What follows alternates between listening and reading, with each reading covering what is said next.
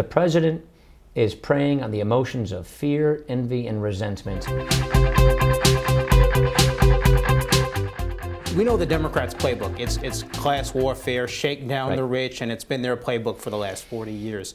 Do you think Republicans are doing uh, a successful job making the moral case for capitalism? Not enough. Um, that's why I gave this speech at the Heritage Foundation about a month ago, because I was really worried we weren't stepping up to the case. We weren't stepping to take the moral high ground on this issue. We should not shy away from class warfare. We should take this head on, which is the president is preying on the emotions of fear, envy, and resentment, and he's speaking to people in America as if they're fixed in some class.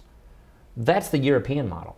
That's the model our ancestors left to come create an opportunity society, equality of opportunity, equality, uh, equal protection of the law, not equality of outcome.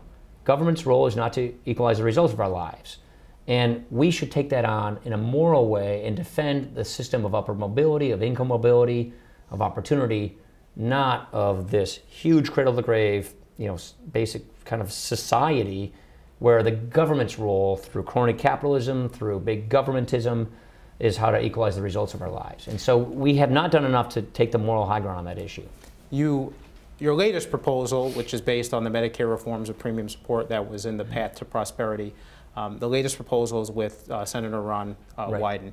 And literally, almost an hour after this hits the media, uh, the White House responds, and I'm going to read you their quote.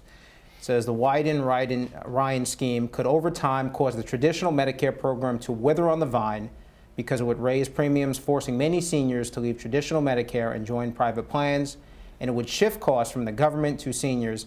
At the end of the day, this plan would end Medicare as we know it for millions of seniors. Your response? Totally predictable. I'm sure they didn't even read it before they made the comment. Um, but it's a premium support system. What, what, what we've proven here by having a Democrat support a premium support system is that there's a consensus. You know, before it was Alice Rivlin and, and, and non-elected Democrats, Erskine Bowles, people like that, who are saying we should go to a, a, premium support kind of a system. Now we have an elected Democrat showing that there's a mainstream con- consensus on how best to reform Medicare versus the Obama single payer, cradle to grave, you know, IPAB price control rationing program.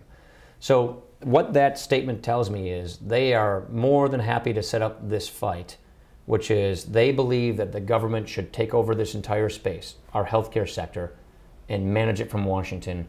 We believe we should run the money through the individual and we should have a patient-centered system. And what we're proving with, with our plan is that's more mainstream. That is where most of the country is. And I would argue that the president's on the outside looking in. So that's the left. And they clearly are doubling, doubling down on their ideology.